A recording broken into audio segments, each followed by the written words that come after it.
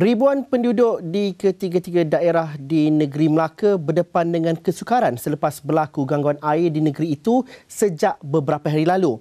Menurut laman web rasmi Syarikat Air Melaka Berhad SAMB, Melaka sedang menghadapi purata hujan yang rendah dan ini mengakibatkan paras air di kawasan empangan, kolam tadahan serta Sungai Melaka berada dalam keadaan yang tidak memuaskan.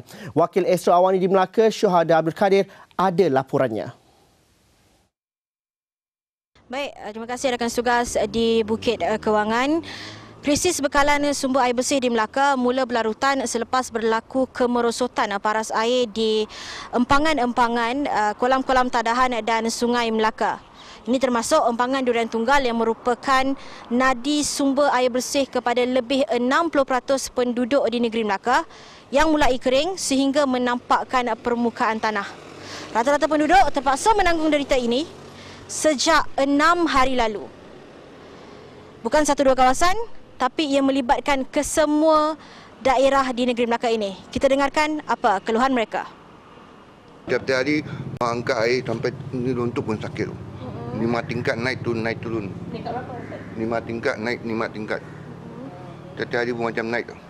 Sampai runtuh pun sakit. Balik kerja macam tengok dalam air turun, angkat. Pagi pun bangun pun tengok air turun angkat.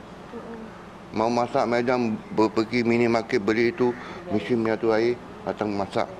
Tak ada mau cuci baju pun tak berani angkat pergi sana tu itu cuci air, cuci baju di tempat. Ha. Ada notis tak? Tak ada notis. Langsung tak ada notis.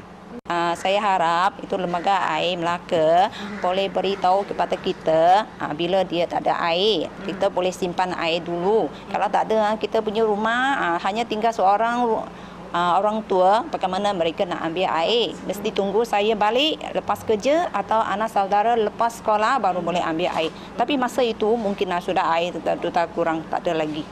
Uh, saya ingat lebih baik inform kita dululah Baik, uh, menurut laman web rasmi Syarikat Air Melaka Berhad, uh, situasi ketiadaan bekalan air bersih ini uh, melibatkan ketiga-tiga daerah iaitu masing-masing melibatkan 17 kawasan di daerah Melaka Tengah, 5 kawasan di daerah Jasin dan juga 3 kawasan di daerah Alor Gajah.